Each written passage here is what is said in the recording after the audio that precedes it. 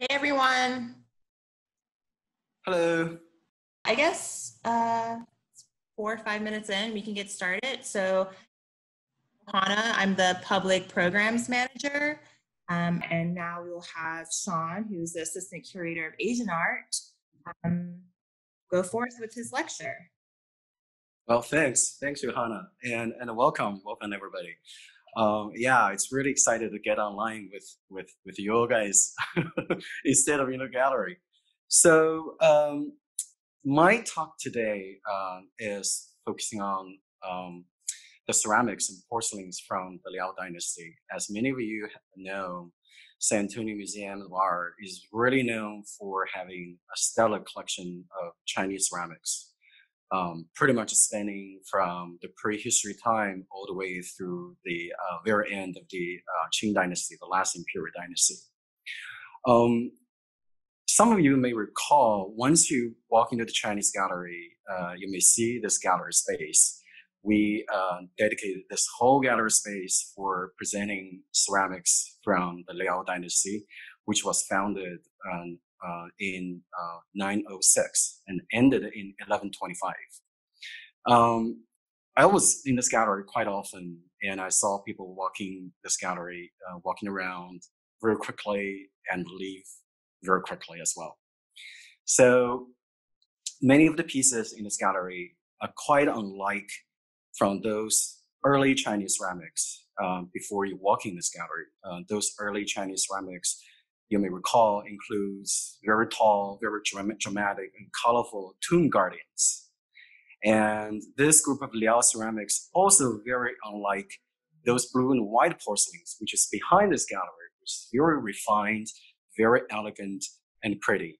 And this group of Liao ceramics, mostly um, monochrome, which is single color, green, yellow, as you see here, this uh, yellow uh, jar, or white, um, green, yellow, black, sometimes black. So it's not visually uh, exciting to a lot of people. But actually, um, uh, they played a very important role uh, in Chinese ceramic history. And the people who made these pieces are called khitans. Um, let's go to the second, next one. So, um, as I mentioned earlier, Liao dynasty was founded in uh, 906, pretty much spanning from the eastern part of China all the way to uh, Central Asia. And on their east is Korea. Um, during that time, uh, it's called Goryeo dynasty. And on their south, it's the Chinese dynasty. It's called the Song dynasty. So this is the Chinese dynasty. And this is the Khitan uh, people founded the Liao dynasty. On their uh, west, the Uyghurs.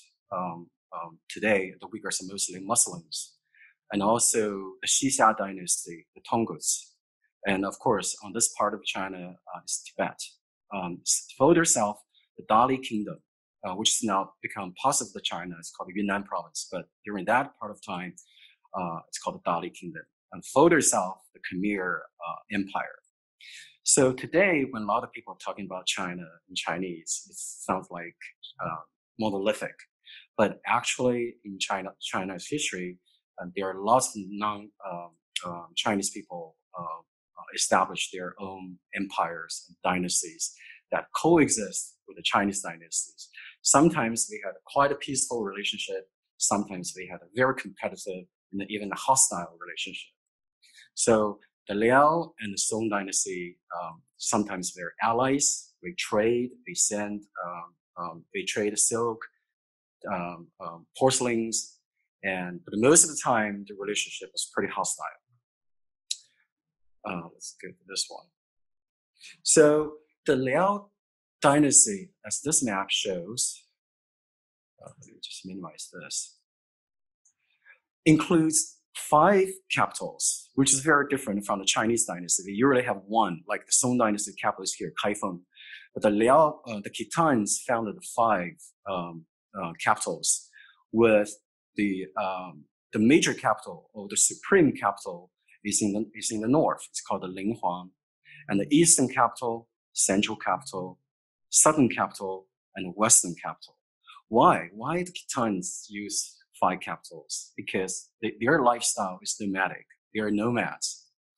Um, depends on the seasons. They change. Uh, um, um, uh, they move their uh, um, capitals among these five cities. Uh, springtime is usually on the east, east, and the summer is in, in the north, and the winter they usually spend their time uh, in the south and the west. They roam around among these um, um, five capitals. Good. This is a Google map. I just want to show you. The Liao Kingdom includes this large stretch of landmass, which is mostly deserts. It's, it's, this is the Mongolian plateau. It's, it's, it, the Gobi Desert is here.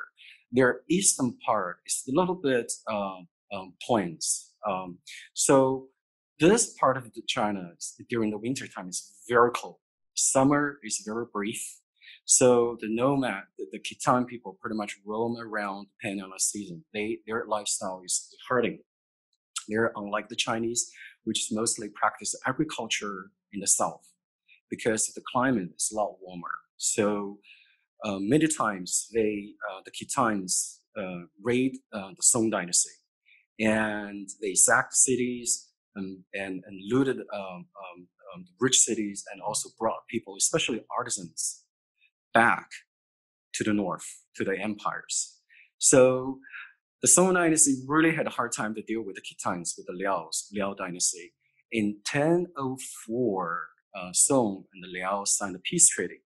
So basically, the Chinese agreed to pay the Khitans 100,000 rolls of silk each year and also uh, 100,000 um, um, um, um, it's called tallies of silver. So it's pretty much Chinese bought peace from the Khitans. And actually, the Khitans honored this peace treaty and never invaded China, uh, the Song dynasty in the south, pretty much for 200 years. So the two dynasties coexist afterwards, after 1004, um, peacefully, and they established very strong cultural, economic, and religious ties between the two major powers um, um, in China during the uh, 10th um, century, 10th, 11th century. And the Khitans, as I mentioned earlier, they're not Chinese. They um, um, uh, didn't speak Chinese. They have their own language, and their hairstyle is very different from the Chinese. They, they shave their head, forehead, and the back back head as well, and only keep this two strand of the head on the two sides. And they also wear dress this round neck long robes, which has slit on the sides, which is easier for them to ride riding horses. And this is just a modern uh, uh, picture of, uh, of the Liao, uh, the Khitan uh, people's hairstyle. And uh, this is a painting by a Khitan artist of the 10th century. Currently, this painting is in the Palace Museum of Taipei. It shows the nomadic lifestyle of the Khitans. Um, they're very good at riding horses, and they're uh, um, practice hunting and also um, fishing as well. So it's totally different lifestyle uh, compared with the Chinese who lives in the south, mostly peasants and farmers taking care of their lands. Um, so these two different, very different lifestyles create sometimes create tensions between uh, to the, the, two cultures. Um, feel free to ask me if you have any questions. And this is the one, this is the uh, golden crown of the Liao dynasty. Actually, in our collection, uh, if you uh, um, go to the Liao dynasty gallery, you will see this crown. It's a very, very uh, impressive and beautiful uh, gold crown. It's made of um, bronze and then gilded. And the two phoenix with a with a flaming pearl uh, in the center. Um, this crown could be owned by uh, a noble uh, man or woman wearing this crown for important religious occasions. And also silk. Um, they, the Khitans traded silk with the Chinese on the south. And this is a, um, um a, Liao dynasty uh, robe found, actually found from a tomb, from the Liao dynasty tomb. And when this piece, this, this piece is currently in a private collection in Europe, but when this piece was found in fragments, and the conservator just reconstructed this whole piece uh, and form this amazing uh, Liao Dynasty uh, robe. It actually include uh, includes several roundels of phoenix, the two phoenix um, um, flying um, um, after each other with a flaming pearl, and the phoenix is made of gold wires and silver wires, and the silver becomes a little bit tarnished, but gold part is still in a very pristine condition. So I just want to show you uh, the rich material culture that the Khitan people build up. Actually, the Khitans were first recorded in Chinese history in the, in the 6th century. And at that time, they were just um, uh, minor tribes, tribes um, uh, living in the north, living in the Mongolian plateau in Siberia, with the China, major Chinese dynasty, Tang dynasty in the south. When the Tang collapsed in the uh, uh early 8th century, um, the Khitans quickly rised up and they built up their power. They consolidated their different tribes. And when China was, and when, when Tang Dynasty collapsed, before the Song Dynasty built it, and China was in turmoil. And the Khitans were very smart to seize the opportunity to build up their um, uh, um, empire. It's called the Liao Dynasty. Liao Dynasty is the first non-Chinese dynasty that was built in Chinese history that coexists with a major Chinese dynasty in the south. And before Liao, um, they only have some minor tribes sometimes give headaches to the Chinese uh, empires, but never seriously challenged the Chinese in the south. But the Liao uh, was the first one. And also Beijing, Beijing became the capital. Um, Beijing was called Nanjing. One of the, uh, Beijing is the southern capital of the Liao dynasty. And that is the first time Beijing became the capital uh, in China. And after Liao, Beijing again became the capitals of other dynasties. But the Liao, the Khitans first used Beijing as one of their five capitals. And this is amazing Guanyin from the Liao dynasty, currently in the Nelson Atkins Museum in Kansas City. It's one of the treasures of Nelson Atkins. It shows the extreme craftsmanship that the Liao people can do um, um, to build this beautiful sculpture and also, uh, the Khitans follow Buddhism. Before they built their dynasty, their empire, Liao, uh, the Khitans pretty much um, were um, practice shamanism. But as the Khitans interact with the Chinese itself, they gradually adopt Buddhism and became devout um, Buddhist followers um, um, during their 200 years history. And this is one of the amazing um, 10th century Guanyin uh, um, found in the Liao territory and left China in the early 20th century and ended up in the Nelson Atkins in Kansas City. Uh, Shawn. Yes. What is it? Is um, the Buddha sitting on? Is it just a pedestal? This Buddha is sitting on a, a, a rock um, by a river um, and the pose of this Buddha is called the royal ease, actually started from the Buddhist, Buddhist art from India. But first introduced uh, to China by the Chinese, by the pilgrims travel along the Silk Road, reaching China, and the Khitans adopted this um, uh, pose, which is called the royal ease pose, and incorporate this uh, pose in their own uh, Buddhist sculpture.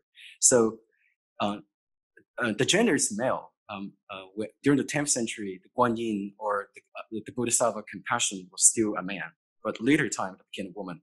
By this time, it's still a man. So it sits on a rock by the, uh, sur uh, surrounded by water wave, waves, which symbolize the southern China Sea, because Guanyin is believed to live in an island in the South China Sea. So this is the um, showing Guanyin sit on a uh, rock uh, with waters around and step on the lotus flower. Mm. And um, from the chat, someone's wondering, you know what it's made out of? Oh, it's made of wood. Uh, oh, it's wow. made of uh, it's made of wood and covered with pigments with lacquer, and then gilding. Some gilding still uh, uh, exists, but mostly mineral pigments um, the red probably is the cinnabar, the green is probably grounded malachite, and the lapis, all these um, uh, minerals, and mixed with lacquer and covered uh, uh, on the wood. So it's carved from wood. Cool. Thanks. yeah. Feel free to ask me if you have any questions. So now let's talk about uh, the Liao ceramics. Um, most of the kilns of the Liao dynasty are pretty much all surrounded um, um, around their capitals. So this is the supreme capital in the north. This is the Nanjing, which is actually Beijing. Uh, it's called Nanjing means Nanjing means southern capital, but uh, it's actually today's Beijing, which means north capital. It's quite confusing, but this is Beijing, uh, today's Beijing. So all the Liao dynasty kilns are built around their five capitals. And before uh, the Khitans established their own empire, um, uh, they didn't use ceramics. Um, um, they didn't have their own written script. They um, um, didn't have uh, the skills and uh, the know-how to uh, to fire ceramics. Uh, in the early parts of their history, when wait, before they signing the peace treaty with the Chinese in the south, like I mentioned earlier, they constantly raid the kilns and the other cities uh, in the Song Dynasty and took the artisans back to the north and asked these Chinese artisans to work for them. So throughout history, uh, the Liao Dynasty history, the relationship between the Khitans and the Chinese lived in the Liao territory quite nice, actually. Um, many murals, the tomb murals shows the Khitans and the Chinese having parties together and taking care of their horses together. So it's really amazing the relationship between uh, the Khitans and the Chinese live in the Liao dynasty. But in terms of the relationship between the Liao and the Song, in the early part was pretty hostile. But later, uh, uh, the Chinese pay just pay the Khitans for their peace. Um, it's actually a pretty good deal. Those silks and the silver that the Chinese pay to the Liao is really nothing compared with their annual revenues because the Song dynasty in the south is really a rich dynasty. They trade along the China Sea with the Persians, with the Europeans. So they had a lot of money. They, they're really smart, pay a small amount of cost for the, for the, uh, for the peace. Just tell the Khitans, you stay in the north, don't bother us. We paid money to you. So that's pretty much the, uh, the peace treaty of, of um, 1004. So this is the two pictures showing the kiln sites today. Uh, again, uh, today it's uh, kilns mostly in Inner Mongolia. Inner Mongolia uh, is a province um, in the north part of, uh, of China.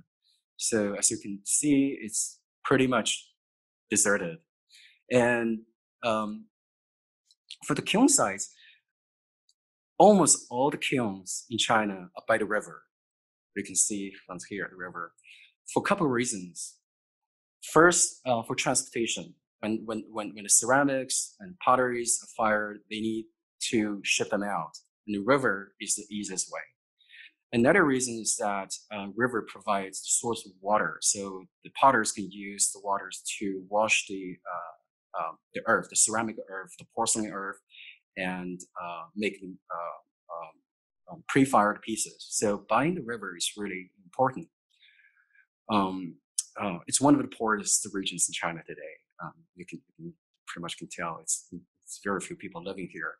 And this just shows the Liao dynasty ceramic pieces, broken pieces, stacked in uh, the soils even today in different layers um, from different periods. Uh, you can see all those fragments still um, can easily be found uh, in the kiln site, in the ancient kiln site, which is over a thousand years old.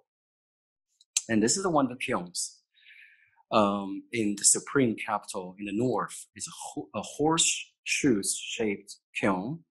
And, um, and the pieces are pretty much stacked here. And this is the chimney going up. Uh, for uh, firing the pieces. Uh, the potters use wood instead of uh, coals, although the, uh, uh, that part of China today produce a lot of coal, but at that time, the potters, potters just use wood as a source of energy for firing um, ceramics. And those are the pieces found in those kiln sites. And you can see this is the uh, white porcelains, green, multicolor, we call it uh, tricolor or sunshine glaze, blue, amber. So our museum collection has all the pieces representing this kind of colors. I will show you later. This shape, this triangular shaped uh, pieces, actually spacers. They put between the piece between the pot between the pots, vessels, bowls, because those pieces are stacked in kilns uh, during the firing. So this this are spacers. Uh, because once you can stack stack bowls and vessels together, it will save space.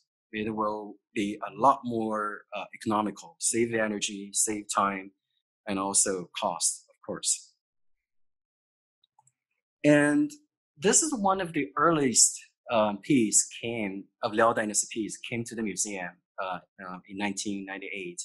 It's actually um, uh, one of the star piece in, in our entire Chinese ceramic collection. And it's called Buddhist urn. It's actually for containing ashes um, um, because uh, most of the people um, uh, during the Liao dynasty, especially those uh, uh ruling uh, class, uh, follow Buddhism. Um, so after they died, they cremated, and their ashes stored in this uh, little chamber. And the whole piece, this part, the middle section is made like a pagoda. So this is represent the roof edge and roof ridge and ended with the dragon heads. And then this is the middle, the main chamber for containing ashes and sit on the lotus flower. And the lotus flower growing out from the pond, which is encircled by this, um, um, uh, what is it called? Uh, like handrail rails or baluster. And the whole piece is surmounted by another little flower and then a pearl uh, at a very on the very top. Firing this piece, making potting, I mean, making this piece is really technically challenging, and especially firing, because during the firing process, the temperature, um, uh, the rising and the cooling process, the amount of oxygen need to be very carefully uh, calculated. Otherwise, it will not come out like this. Um, the color will not turn out like green. If the temperature is too high, uh, it may uh, or out of shape. If it's below the temp- certain temperature, um, um, it will not fire. The green will not turn out as like jade, um, um, uh, deep blue, deep green color. So it's it's very challenging to fire this piece.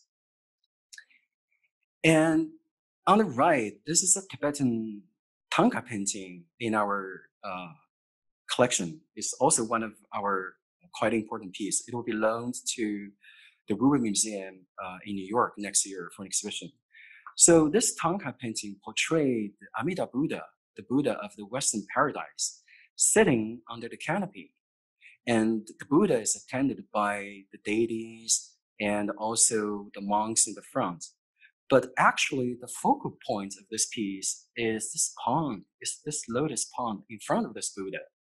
So the lotus flower growing out of this, from this pond, and the souls of the deceased were reborn on this lotus flowers in the Western paradise. So one of the uh, teachings in Buddhism is that people need to do good things to build up good karma.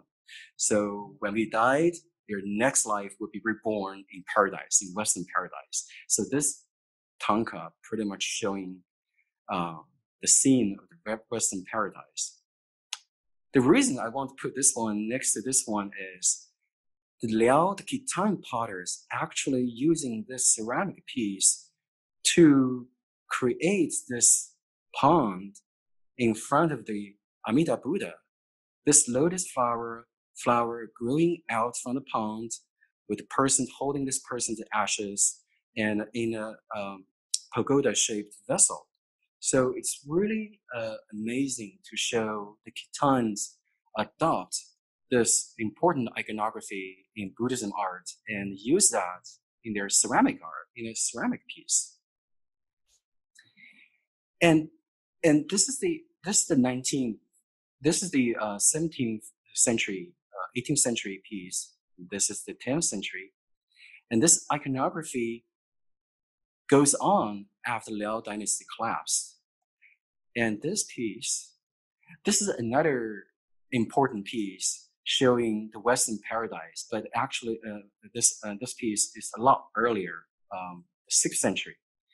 Also, uh, in the Smithsonian um, Freer Sackler collection, showing the Buddha sitting under the canopy with a lotus pond in front of him with this souls, the image of the souls uh, of the deceased people reborn on this lotus flowers. So this piece showing that this iconography actually started very early and the Khitan people adopt this and use in their uh, ceramic art. And this is a piece is um, um, is so rare that I didn't see any other similar pieces in China. Um, uh, Yale University Gallery has a similar piece, but that's the only piece I found which is quite similar to this one. I didn't see any other pieces uh, like this one uh, in China. So San Antonio Museum is really fortunate to have um, this uh, Buddhist vessel uh, in our collection. Another thing I would like to highlight that is the Khitans use lead um, in their glaze. So uh, lead can lower uh, the firing temperature. So a piece like this actually fired twice. The first time um, after it was potted and covered with a slip. The slip is this white, refined um, uh, uh, uh, material um, that can hide some coarse particles um, in the ceramic earth, so making glaze looking better. So it was potted and covered with a slip and fired around 1,200 degree, and took it out and cooled down and covered with a screen glaze mixed with lead and fired a second time. The lead will lower the firing temperature so that glaze can flow, cover the pieces without the temperature going too high. Otherwise, the um, uh, uh, the pre-fired piece will, will, will be deformed. So the Khitans learn really learned this amazing technique from uh, the Chinese potters themselves by adding lead uh, into the glaze to lower the firing temperature, and also lowering the firing temperature save energy, uh, save time as well. It's it's quite economical uh, uh, too. So this is another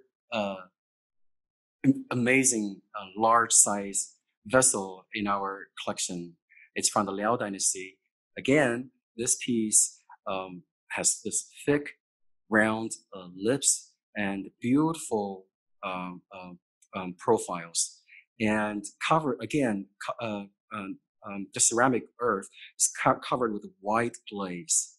And then the potters use pointed bamboo stick to carve out this beautiful peony flower and then use this tiny, uh, um, create this, type we call uh, the comb shaped uh, uh pattern because using tiny combs to create this kind of a series of parallel lines to highlight to uh, highlight the texture of the peony flower petals. And then they painted this space with iron-based pigments and then covered with a transparent clear glaze um, to create this amazing large vessel. Again, creating this piece and firing this piece is not an easy job, even today. Um, before, um, you can imagine during the 10th century, people just based on their uh, knowledge and experience, there was no any other tools like thermometer to tell them the temperature, totally based on their um, years of practice and uh, experience to decide when the firing is good enough, uh, uh, when it's need more time. Um, this kind of like black background, white uh, um, um, floral pattern is very popular uh, technique. Another way, another style or or method of creating this black background is sometimes the potters just carved away this white slip and revealing the dark uh, body of the piece. And then they just covered with, a clear glaze and fire it. And this one, I guess the potter just want to save some time. So the potter you just use uh, iron pigments to paint it, this, the background, to create this kind of like darker um, background to highlight the peony flowers again, uh, um, peony flower uh, uh, is very popular in Chinese art, in Korean and Japanese art as well, to symbolize wealth and also the status. So um, peony flower, uh, uh, appears in Chinese ceramics repetitively, pretty much from early time all the way through the very end uh, of Imperial China. And um, when this kind of technique using darker background to highlight this white peony flower or other flowers started, we don't know. But the tradition of this, this technique carries on after the Liao dynasty long gone. And this is the uh, another jar we accepted a couple years ago to the museum collection. Actually, it's a Korean jar. Um, it's late 19th century, early 20th century Korean jar, also very large size.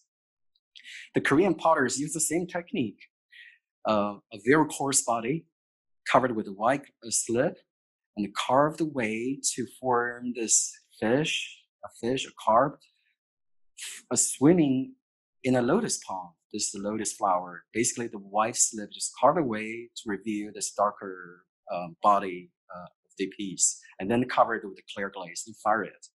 So this kind of like uh, decorative decorative uh, technique goes on for centuries, even to the early 20th century, um, after Liao Dynasty uh, collapsed.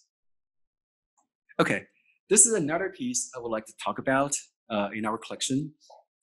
It's a vessel sitting in a bowl. Uh, uh, the, vessel, the bowl is decorated, is carved uh, with this uh, upward pointed banana tree leaves. Um, uh, the Khitans in the north, they don't have banana trees, but the Khitans love to use exotic plants and animals to decorative to decorate their pieces. Um, um, um, sometimes you can see uh, parakeets, monkeys, I'll show you later, and also other plants from the south. Um, this is a wine vessel. Um, in early times, um, uh, the Khitans like warm, warmer wine. They don't like to drink uh, cold wine. So they put this wine in hot water um, in this bowl to keep it warm and uh, and also covered with white uh, slip and then clear glaze and fire it. And this is the overlapping flower petals and the banana tree leaves, and also this is dragon head holding this sprout um, um, for pouring uh, uh warm wines. And this is a tomb mural of Liao Dynasty shows this Khitan person's pouring wines into this cup holding by a Chinese. How can you tell? Because of the hairstyle. This is the Khitan hairstyle, and this is the Chinese. They always keep their ha- hair because the Chinese never shave their hair because uh, it's um, the, by the Confucius value. Uh, hair is part of your body that is given to you by your parents. You're not supposed to, shave your hair, so they uh, uh, comb up their hair to form a, a, bun on top of hair, and then wearing this kind of uh, box-shaped hat. So this is Chinese. This is Khitan. You're preparing a banquet or party, so pouring wines to this cup. This is the one vessel. See that? And this this mural also shows the good relationship between the Khitans and the Chinese living uh, in the Liao territory. So is the vessel is it one piece or it's it's two piece. It's okay. two separate piece. Yeah, you can take this bottle out from this from this bowl. It's two separate pieces. Another tomb mural from Liao Dynasty shows this type of vessel is quite popular. Um, uh, it's quite commonly used uh, during that time. So for preparing banquets, holding uh, uh wines in warm water. Again, the two Chinese can tell from their uh, from their dress, from their from their hat. And uh, one of the most iconic ceramic ceramic pieces from Liao Dynasty is this flask. It's called uh, either uh, called pilgrim flask or more commonly cockcomb flask, because this part this part of the vessel represents a cockcomb. So uh, uh, it was first actually after Liao dynasty collapse in 1125, this type of vessels pretty much disappeared, disappeared uh, in, in China. Um, and people rediscovered this type of vessel in early uh, 20th century in the northern China, in Manchuria, in Mongolia. Actually, first by some French missionaries. And people named this uh, type of vessels called cockcomb vessels, cockcomb flask. Um, they, they actually, this type of vessel is modeled after leather jars. The Khitans are nomadic people. They need to have vessel, uh, water jars. So they use deer skin to create this uh, type of jars for holding waters when we uh, uh when the Khitans riding horses. So after uh, uh, the Khitans start to um, interact with the Chinese or learn how to create porcelains and earthenwares, they start creating this type of flask uh, only found in Liao Dynasty, only in northern China, um, um, never before, never after, not in other parts of China. So the museum has quite a few of this type of white vessels different styles. This is probably earlier. This is probably earlier, and this is probably later. Why? Because this piece has this ring foot uh, underneath. When the Liao people start, Khitan start to uh, learn from the Chinese, they gradually adopt the Chinese uh, more sedentary lifestyle. Uh, they settle down, um, start to do fishing, a little bit uh, agriculture as well during the later part of the dynasty. So they made this vessel more stable. Sit eat on a table on the ground. They start adding this ring foot uh, underneath. And this is the two monkeys sit on top of the uh, this vessel why? We don't know. A lot of scholars have different uh, uh, speculations for why um, the Khitans use the two monkeys sit on the top, but nobody give very convincing answers for that. And plus, uh, the monkeys, I mean, it's too north, too cold for the monkeys to live in the north. Um, again, uh, lotus flower um, on top of the two uh, cloud scrolls. Um, um, a lotus flower represents purity, it represents rebirth. Again, it's associated with the Buddhism. Um, that should uh, that uh, this piece indicates um, uh, the influence of Buddhism, Buddhism and Buddhism art start to appear uh, in the uh, Liao Dynasty uh, ceramics. Next one. Oh, okay. Our museum has two wooden flasks which is extremely rare. Um, I uh, did quite a few research reading through archaeological reports since 1950s all the way to today. Um, it's very rare to find wooden uh, flask uh, from the tombs. Mostly this pair uh, is from the tomb, uh, from the tombs. So it's very hard to preserve wooden flasks and they pretty much follow the same shape. And this is the side view. You can see this is this this one is taken from this from this angle, and has this beautiful gilded lid on the top. This is the one. Um, uh, it's made of uh, copper and then gilded. Uh, it's in very good condition. And the two holes are uh, covered with this um, um, blossoming flowers, also gilded flowers. It's, uh, it's very rare to have wooden flags um, um, in, in the museum's collection because they were so hard to find. What the okay. flask, I'm sorry, um, would the yeah. Flask have some kind of lid like that as well with a, a chain on the? You mean for this one? For the or other for, two that we saw. The, uh, sometimes the porcelain has lid, on it. Uh, actually, we had quite a few. I didn't use them here. Uh, but most of the time, it's like this. No, this one's mostly have a lid, but it's just missing. Um, uh, for this pieces, I don't think so. Even if it has lid, it's mostly made of wood, just um, stuck in it um, um, to seal this. But this one should have an original ceramic lid to to cover this opening. Um, this, and a question from the chat is wondering what kind of wood is this, and are they too fragile to display, or are they on display? Uh, they're not. I found this one in uh, in the storage. That's why I use my cell phone to take these pictures on the card. on the card, so you probably can tell it's not in the uh, museum case. Um, I'm not quite sure why it's not on view, but I definitely would lo- love to put this one on view. Uh, their condition is okay. This one, this pair uh, of wooden flasks probably uh, have pigments on it, um, but it's just gone after a thousand years. The pigments are all gone. But in terms of wood, it could be pine wood. It's very light. It's not that heavy holding hands. Um, no cracks. Um, um, uh, uh, the cavity just hollowed out to form um, um, the cavity for containing uh, waters or, or wines. Uh, in good condition, yeah, I would love to put this one on, on view next to the ceramic ones to show uh, the different materials, leather, wood, ceramics that Khitan people use to create this kind of flask.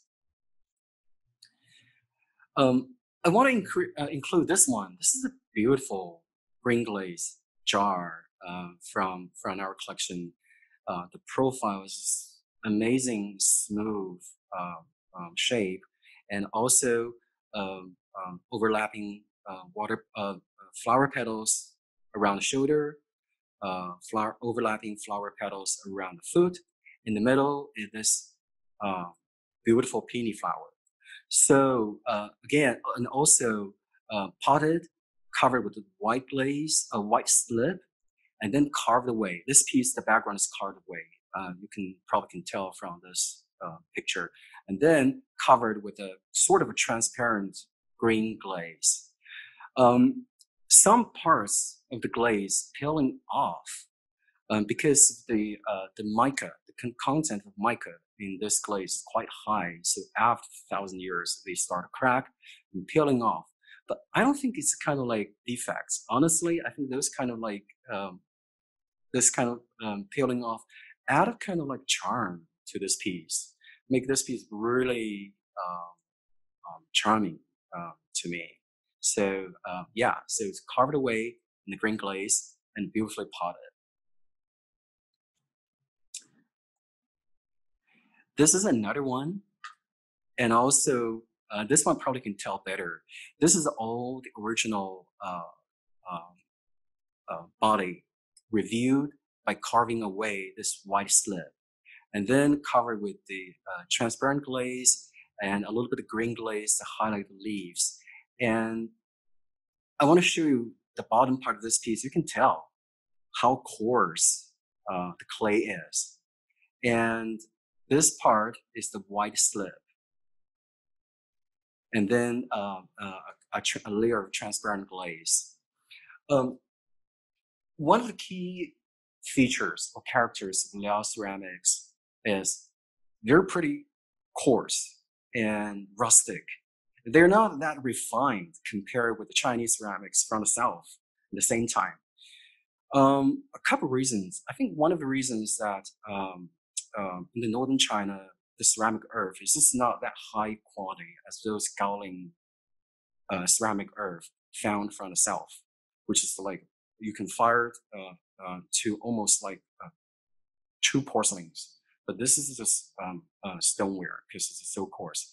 Another reason I think uh, is that if you consider northern China is cold, extremely cold, and the Khitans are nomadic, their their aesthetic taste probably more tailored to this kind of rustic, coarse style compared with this highly highly refined uh, Chinese piece from the south.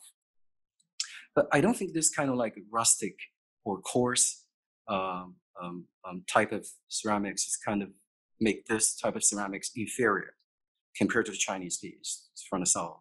I think they have their own place uh, in the history of Chinese ceramics. Um, we have a question from the yeah. Um, they're asking how do they apply the green, which looks like it's over the slip and carved out pattern?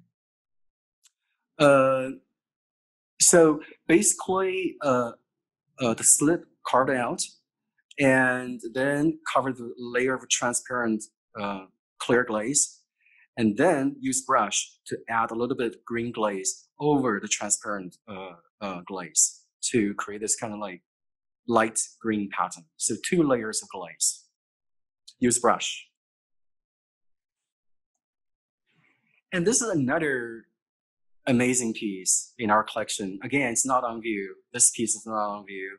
This is not on view. You can tell this is the cart I pulled out from the, uh, the storage. So we have lots of uh, uh, Liao uh, ceramics in our collection. Uh, it's uh, actually given to the museum by the late museum trustee, Mr. Mr. Walter Brown, in 2013. he gave the museum probably around 300 pieces. So San Museum probably has the largest Liao Dynasty ceramics in the United States, um, representing pretty much major kilns and major styles and different te decorative techniques. Um, this is another amazing piece uh, in our uh, collection. This is called a phoenix vessel because of this part of the phoenix head on top of this long tube neck and then surmounted with this um, um, flower-shaped bow on the top, and the the body is made of this beautiful uh, potted, round-shaped uh, vessel, and then uh, carved out this extremely beautiful lotus flower.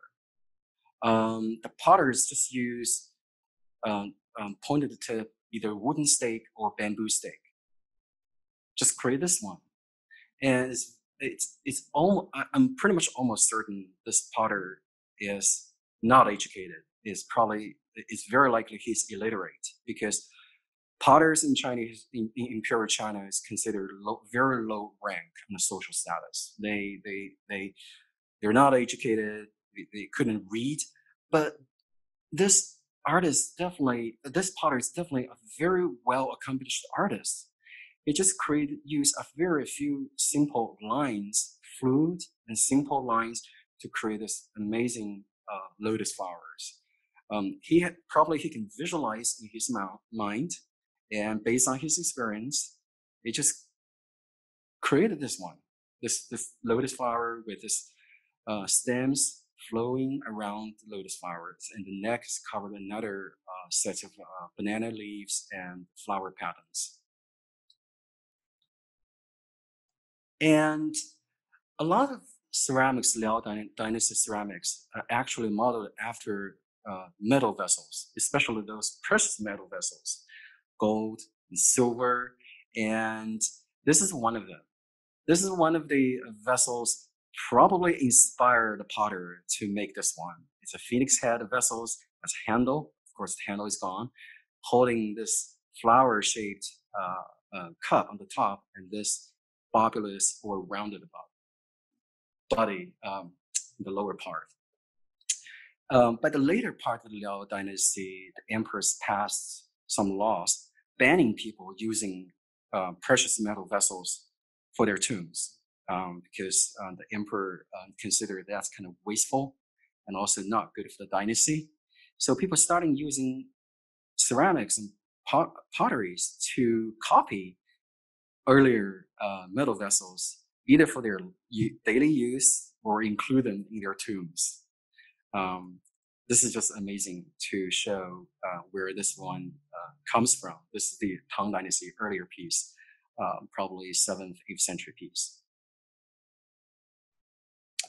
And another major school uh, in the Liao ceramics is called is called tricolor ceramics uh, or, or earthenwares, tricolor, because they largely include three colors like white, green, and amber, this kind of yellowish amber color.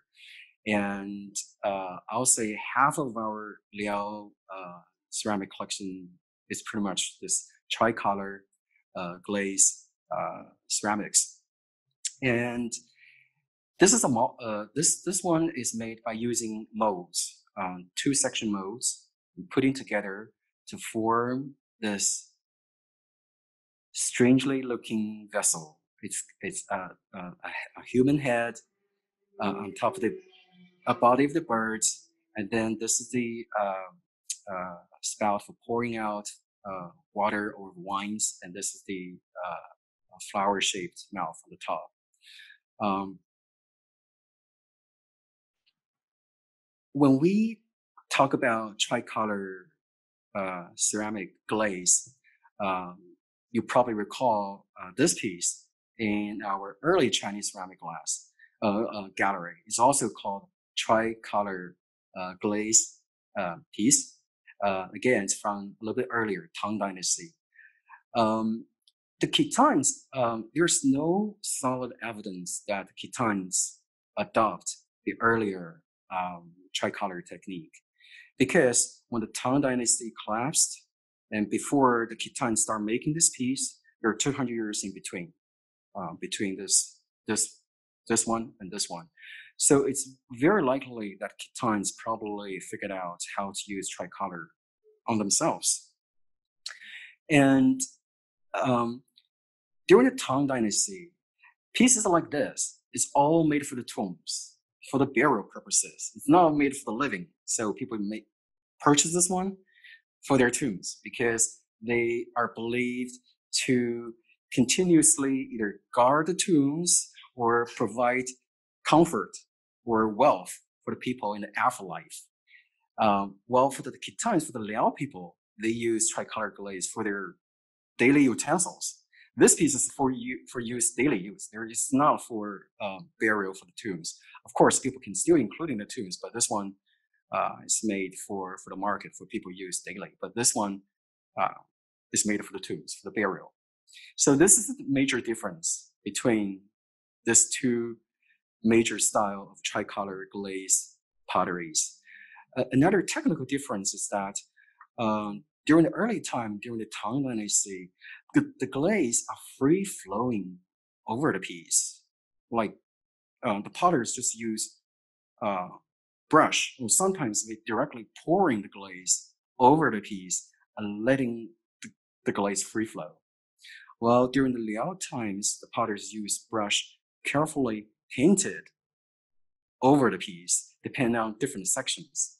So uh, for the wings, it's like this, uh, the white and green. For the body, it's largely yellow. So you, you, there's no free flow of glaze on this piece. So that's another uh, difference between the tricolor glaze from the Liao, which is later, and also the tricolor piece from the Tang, which is a little bit earlier. We have a question from the chat um, actually from one of the artists we spoke to earlier this month, Hiromi Stringer. Um, she's wondering if the foundation of the for the camel and rider is it attached to? Yes, it, it's part of the whole piece. Okay. It's part of the whole piece, I guess, for uh, for uh, stabilizing uh, this piece, the camel, when this piece was put in the tomb. Um, another another key difference I forgot to mention is that um, the tricolor piece on the Tang, uh, the potters didn't use uh, slip, uh, um, um, um, slip because uh, the ceramic earth is good enough. It's highly fine uh, ceramic earth. It's white. It's highly refined. So there's no need to use slip to cover this piece up. They just pour glaze directly over the pre-fire piece. But for the Liao piece, this is white, the white face, and that's the wing, this part, all uh, the color from white slip. So because again, because the, the earth, the ceramic earth is quite coarse from, from northern China.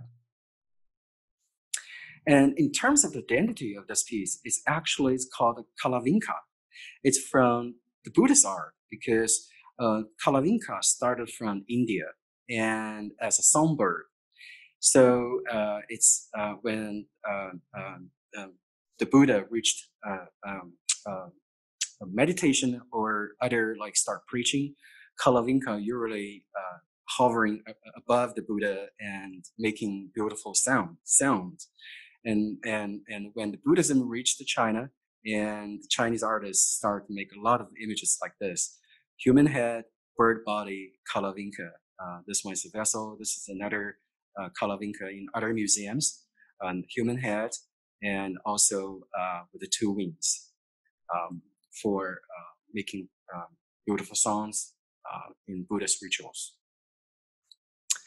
Believe it or not, we have a watermelon uh, in in our collection, and the Khitan people is the first people introduced watermelon from Central Asia to China. And uh, when they uh, uh, um, uh, reaching Central Asia. If you, if you can recall the territory, uh, the map of the Liao dynasty is all spread, it stretches all westward to Central Asia. And uh, when we tried to conquer Central Asia, they um, had watermelons and they brought seeds to uh, to their own um, um, empire and started planting watermelons in northern China. And it, it, did grow there. It's cold there, but watermelons uh, did grow there. And the Chinese from the south uh, to get to uh, get to know uh, watermelon, start to planting watermelons in their uh, in the southern China uh, from the Khitans. And this this is a mural showing this Chinese nobleman enjoying wines and the fruit. And this is a watermelon. This is a tomb mural. Again, this is a 10th century tomb mural.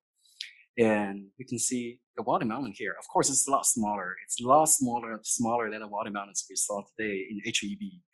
But in the 10th century, uh, um, yes, uh, the Chinese, the Khitan start water, watermelons. And this is the Khitan servant and holding a spittoon, uh, standing behind his Chinese master. Uh, uh, and this two Chinese servants presenting wines. And it's very likely this piece is made for for offering um, um, uh, to the tomb owners. Uh, this is this is definitely not for for the use the, uh, by the people during their daily life. This is for included in tombs. So for this uh, for the um, tricolor glazes pieces, they mostly for the daily use, like this one, Kalavinka, and other smaller categories for uh, for burial, like this watermelon uh, we're I'm just amazed to find that when I, when I so a couple of months ago when I went through our storage, was just so shocked to see this watermelon in our uh, in our Liao Dynasty collection. Um, I would love to put this out. I'm pretty sure the kids will love it. Um, finally, I just want to show you this Liao Dynasty pagoda um, I visited a couple of years ago. It's in Inner Mongolia. Um, when I was there, it's it was I think it was in January. It was cold, very very cold, and nobody's there. And you can the only sounds you can hear, and I, or I could hear there is just the wind, the sound from the from the bells, and also a few uh, sounds made by, by the magpies from the distance. And you can feel even this pagoda is over a thousand years old you can feel um, um, uh, the culture or the lifestyle that the Khitans used to live here. Um, I'll just play a little bit. You can hear the sounds.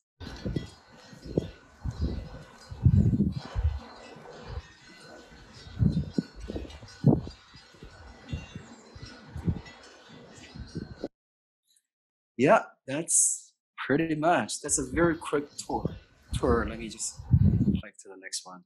Yeah, that's just my brief story of our amazing uh, Liao Dynasty ceramics. Um, if you have any questions, feel free. Uh, let me see. Yeah. Um, so I know it's, a little bit past seven, but if you can stay with us, please do. And thank you so much yeah. for um, sharing this incredible PowerPoint with us. Um, and you know, we have to thanks um, thank you to the family and the donors because we have such a rich Asian due to the generosity of you know Lenore and Walter Brown and also Kay and Tom Edson. So it's just it's incredible to kind of have all of these um, pieces together and we're looking at them together. Um, one I see from the chat already is that the pagoda. Do you know the purpose of it, or was that a religious pagoda? Oh, okay. Yes, that's that's a very good question. Um, pagoda actually uh, um, started from India. Um, uh, it's originally called a stupa for holding reliquaries when the high-ranking monks or even the Buddha passed away. Uh, their body were cremated. cremated.